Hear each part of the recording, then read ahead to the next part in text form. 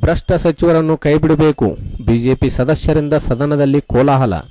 ಮೂರು ಜನ ಸಚಿವರ ಮೇಲೆ ಈಗಾಗಲೇ ನ್ಯಾಯಾಲಯ ನೋಟಿಸ್ ಜಾರಿ ಮಾಡಿದ್ದು, ಸರ್ಕಾರ ಅವರನ್ನು ತಕ್ಷಣದಿಂದಲೇ ಭ್ರಷ್ಟ ಸಚಿವರನ್ನು ಕೈಬಿಡಬೇಕೆಂದು ಬಿಜೆಪಿಯ ವಿರೋಧ ಪಕ್ಷದ ನಾಯಕ ಒತ್ತಾಯಿಸಿದರು.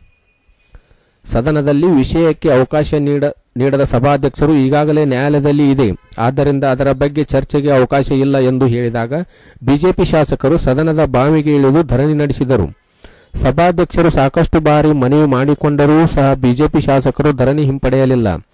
ಸದನದ ನಿಯಮಾವಳಿಯಲ್ಲಿ ಇದಕ್ಕೆ ಅವಕಾಶವಿಲ್ಲ. ಶೂನ್ಯ ವೇಳೆಯಲ್ಲಿ ಚರ್ಚಿಸೋಣ ಎಂದು ಹೇಳಿದಾಗ ಸದನದಲ್ಲಿ ವಿರೋಧ ಪಕ್ಷದ ಶಾಸಕರು ಧರಣಿ ನಡೆಸಿದಾಗ ಹತ್ತು ನಿಮಿಷಗಳ ಕಾಲ ಸದನ ಮುಂದೂಡಲಾಯಿತು. ನಂತರ ಸದನ ಕಲಾಪ ಆರಂಭದ ನಂತರ ಕಳೆದ ದಿನಗಳಿಂದ ನಡೆದ ಸದನ ಕಲಾಪದಲ್ಲಿ ಹಲವಾರು ಪ್ರಶ್ನೆಗಳಿಗೆ ಇಂದು ಮುಖ್ಯಮಂತ್ರಿಗಳು ಉತ್ತರಿಸಿ ಹಲವಾರು ಯೋಜನೆಗಳಿಗೆ ಅಂಕಿತ ಹಾಕಲಾಯಿತು. ನಂತರ ಕಲಾಪ ನಾಳೆವರೆಗೆ ಮುಂದೂಡಲಾಯಿತು. ಅವ್ರ ಮೇಲೆ ಇರುವಂಥ ಭೂ ಹಗರಣಗಳ ಬಗ್ಗೆ ವಿಷಯಗಳನ್ನು ಪ್ರಸ್ತಾಪ ಮಾಡಿ ಚರ್ಚೆ ಮಾಡುವ ದೃಷ್ಟಿಯಿಂದ ಇವತ್ತು ಬೆಳಗ್ಗೆ ನಿಲುವಳಿ ಸೂಚನೆಯನ್ನು ಕೊಟ್ಟಿದ್ವಿ.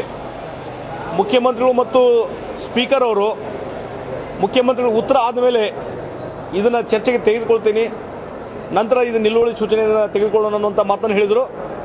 ಮುಖ್ಯಮಂತ್ರಿಗಳು ಉತ್ತರ ಆದಮೇಲೆ ಈ ಒಂದು ವಿಚಾರವನ್ನು ಪ್ರಸ್ತಾಪ ಹೋದಂಥ ಸಂದರ್ಭದಲ್ಲಿ ರಾಜ್ಯ ಸರ್ಕಾರ ಆ ಒಂದು ಭೂ ಹಗರಣ ಇರುವಂಥ ಮಂತ್ರಿಗಳನ್ನು ರಕ್ಷಣೆ ಮಾಡೋ ದೃಷ್ಟಿಯಿಂದ ಈ ವಿಷಯಗಳು ಇಲ್ಲಿ ಚರ್ಚೆ ಆಗಲೇಬಾರದು ಅನ್ನೋಂಥ ದೃಷ್ಟಿ, ದೃಷ್ಟಿಯಿಂದ ಇವತ್ತು ಪಾಯಿಂಟ್ ಆಫ್ ಆರ್ಡರು ಮತ್ತೊಂದು ಕಾರಣಗಳು ಹೇಳಿ ಅದು ನಾವು ಮಾತಾಡಲಿಕ್ಕೂ ನಮಗೆ ಚರ್ಚೆ ಮಾಡಲಿಕ್ಕೂ ಅವಕಾಶವನ್ನು ಕೊಡಲಿಲ್ಲ. ಅಟ್ಲೀಸ್ಟು ಪ್ರಿಲಿಮರಿ ಸಬ್ಮಿಟ್ ಹಗರಣ ಆಗಿದೆ. ಆ ಡಾಕ್ಯುಮೆಂಟ್ಸ್ ಕಲೆಕ್ಟ್ ಮಾಡ್ತೀವಿ ಅಂತ ಹೇಳಿದ್ರು. ಆ ಡಾಕ್ಯುಮೆಂಟ್ಸ್ ಇನ್ನೂವರೆಗೆ ನಮಗೆ ಸಿಕ್ಕಿಲ್ಲ.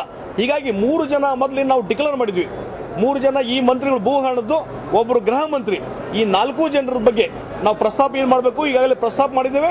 ಕಾನೂನು ಸುವ್ಯವಸ್ಥೆ ಬಗ್ಗೆ ನಿಲುವಳಿನೂ ಕಳಿಸಿದ್ದೇವೆ. ಅದು ಚರ್ಚೆಗೆ ಬಂದಿಲ್ಲ. ಅದು ಬಂದಾಗ ಅವ್ರ ಮೇಲೆ ಒತ್ತಾಯ ಮಾಡ್ತೀವಿ ನಾಳೆ ನಮ್ಮ ಹೋರಾಟ ಮುಂದುವರಿತದೆ. ನಮಗೆ ಚರ್ಚೆಗೆ ಅವಕಾಶ ಕೊಟ್ಟರೆ ನಾವು ಧರಣಿಯಿಂದ ವಾಪಸ್ ಬರ್ತೀವಿ. ಉತ್ತರ ಕರ್ನಾಟಕ ಸಮಗ್ರ ಅಭಿವೃದ್ಧಿಗೆ ಆಗ್ರಹಿಸಿ ಸ್ವಾಮೀಜಿಗಳಿಂದ ಇಂದು ಒಂದು ದಿನದ ಸಾಂಕೇತಿಕ ಧರಣಿ. ಉತ್ತರ ಕರ್ನಾಟಕ ಸಮಗ್ರ ಅಭಿವೃದ್ಧಿಗಾಗಿ ಆಗ್ರಹಿಸಿ ಇಂದು ಎಲ್ಲ ಸ್ವಾಮೀಜಿಗಳು ಒಂದು ದಿನದ ಸಾಂಕೇತಿಕ ಧರಣಿ ನಡೆಸಿದರು. ಉತ್ತರ ಕರ್ನಾಟಕ ಭಾಗದಲ್ಲಿ ಸರಿಯಾದ ರಸ್ತೆಗಳಿಲ್ಲ, ಕುಡಿಯಲು ನೀರಿಲ್ಲ, ವಿದ್ಯುತ್ತಿನ ಸಮಸ್ಯೆ, ಶಿಕ್ಷಣದ ಸಮಸ್ಯೆ, ಹಲವಾರು ವಿಷಯಗಳನ್ನು ಮುಂದಿಟ್ಟುಕೊಂಡು ಇಂದು ಒಂದು ದಿನದ ಸಾಂಕೇತಿಕ ಧರಣಿ ನಡೆಸಿದರು.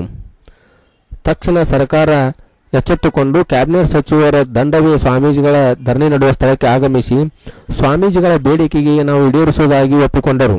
ಆದಷ್ಟು ಬೇಗನೆ ಅಭಿವೃದ್ಧಿ ಕಾರ್ಯಗಳಿಗೆ ನಾವೆಲ್ಲ ಬದ್ಧವಿದ್ದೇವೆ ಕಾರ್ಯಗಳನ್ನು ಕೈಗೆತ್ತಿಕೊಳ್ಳಲಾಗುವುದೆಂದು ಅವರು ಹೇಳಿದಾಗ ಧರಣಿ ಹಿಂಪಡೆದ ಸ್ವಾಮೀಜಿಗಳು.